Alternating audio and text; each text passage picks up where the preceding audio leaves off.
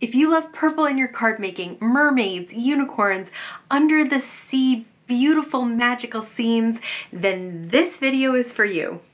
Hi everyone, I'm Rebecca Keppel. It's the first of the month and that means it is time for Spellbinders Kit Club release day, which means that I can unbox the card kit of the month, the small die of the month, and the glimmer kit of the month. So let's jump right into the unboxing. This month's card kit of the month is called Under the Sea Magic. And there is so much in it, just like every single month. The card kits are just packed full of goodies. Of course, there's an inspiration sheet that also lists all of the supplies that are included. There are 10 cards and 10 envelopes. There's foam dots and a roll of double sided adhesive. There are nine pieces of cardstock with purples, pinks, blues, there's a white, and there's also a piece of the mirror gold. There's a set of 10 dies. You can see they're kind of silhouette dies, really easy to use and create a background with or a foreground as well. There's a 6 by 6 pattern paper pad, all with those same beautiful colors that you saw in the cardstock as well. And I've showed these before, of course, the die cut pieces. There are tons of them. So many different styles. Some of them have foil elements to them. Some of them are shapes with sentiments. Some are mermaids and more. There are some embellishments. There are gem gemstones. There's a stamp set that has a unicorn, a fairy, and some magical kind of sentiments. There are two sheets of chipboard stickers and an entire sheet of gold alpha stickers. This is the small die of the month, and it's kind of hard to tell what it is from all these random pieces, but you can create a person sitting on a beach towel. This is the glimmer kit of the month. Of course, it does come with a roll of foil as well, and dies that can cut out the stripes too. As you can see, that is a ton of supplies. I really wanna make sure that you see a little bit of everything. So I'm going to try to go quickly through a whole bunch of cards so you can really check out these supplies in action. For this first card, I do want to use the dies that come in the card kit of the month. So I've chosen a piece of pattern paper that I'm going to use as my background, and then I'm choosing pieces of cardstock. Like I mentioned, all of these images are silhouette images, so all you have to do is die cut them out of either black or different colors of cardstock, and I think the different colors look absolutely beautiful in this kit. So I am going to cut down the pattern paper to four by five and a quarter and lay that on some of the darker blue cardstock. I'm using a chipboard sticker for the sentiment. It says, You're mermazing. And then I'm to die cut all the different pieces from the die set so you see everything. There are two mermaids, there are two seahorses, there's a fish, there's some kelp, there are uh, starfish and bubbles, just so many different little elements, but all you really have to do is cut them out of different colors of cardstock and add them to your card. I used the starfish in the mermaid's hair. I thought that was pretty. This was a very simple card to create, but has a really pretty effect. For this card, I want to focus on some of the embellishments that are found in the card kit of the month. So I am again cutting down a piece of pattern paper to four by five and a quarter to mat it on some of the lighter lavender cardstock. And then I'm going to use one of the larger chipboard stickers that has a longer sentiment on it. And then next, I'm going to use the gemstones and I'm going to circle around that circular piece of chipboard to complete a just shiny, very simple, easy quick card. I especially love how the colors of the embellishments match the cardstock and the pattern paper here. Okay, for this next card, I did want to share some elements from the stamp set.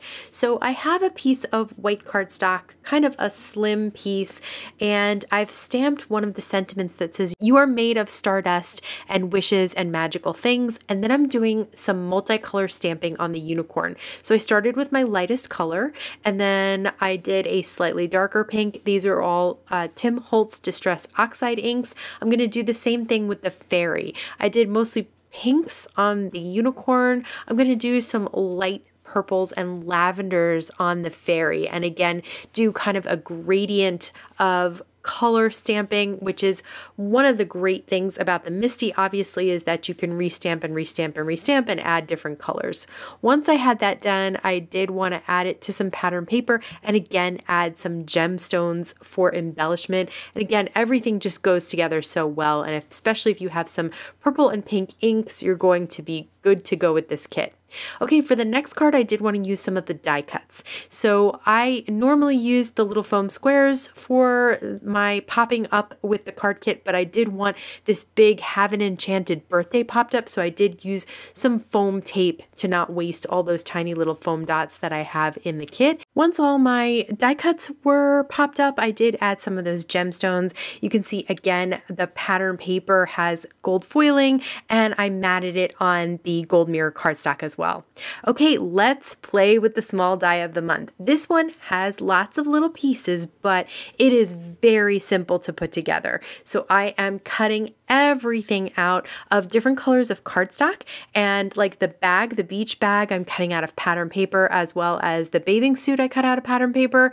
Uh, the only thing that is maybe a little tricky is you need to cut two of the little ribbons that are sort of floating in the wind off the hat and for the um, hat itself, it has three pieces. It has a larger piece, a smaller piece that you can then cut the sentiment out of, which is what I'm doing right here. I'm going to place the little sentiment oval on top of the pink, and then I place that on a darker pink so that you can see the sentiment. For the body and the arms, I did just color it in with a Copic marker. I had cut it out of white cardstock using some liquid glue for all these little pieces, except when I do pop things up, and I'll share when I do that on purpose to show you exactly how the hat works together. For the towel, you get two dies. You get the main piece, which actually has embossed lines to show you exactly where to put the little stripe. So that was very easy to put together as well. For the hat, we already worked on the brim a little bit. Now this is the part where the head goes into the hat.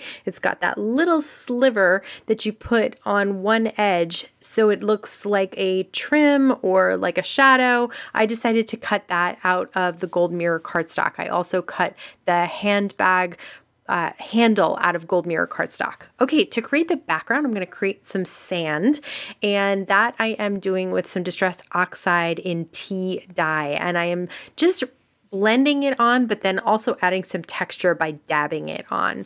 For the sky, I'm using Distress Oxide Tumbled Glass. And then for the water, I am using Distress Oxide Salty Ocean, which I thought was perfect for the ocean. All right, for the towel, I am going to use some liquid glue to adhere it down because it will have trouble sticking to that distress oxide if you use tape runner. For the body, I am going to pop that up a little bit so it's dimensional and I'm going to pop up the hat that I've put all the pieces together. The little arms, I'm going to use liquid adhesive to put them underneath. And then the bag and the flip-flops got kind of popped up. There's the second ribbon that I was telling you about. I used a chipboard sticker for the sentiment. And then this is some Hero Arts pearls for some waves and sea foam and little bits in the ocean as well. So easy to put together, but this card is so much fun to make. Let's turn to the Glimmer Kit of the month. I put the foil plate on my Glimmer hot foil system, putting some foil with the color side down on top of that, and then some of the Spellbinders cardstock from the card kit of the month on top of that, and then putting my plates on top of that, and then I'm gonna run it through my platinum machine. And when you peel that off, you can see you get some nice foil stripes, thick, thin and medium. I also did it with some rainbow foil to get some different colored stripes on one project. And then I did it also at a diagonal because I wanted some diagonal stripes. So there's lots of ways that you can use this. You could even create a plaid look with it. I did not do that this time, but this is going to be one that I'm going to reach for again and again because it's such a great versatile foil plate.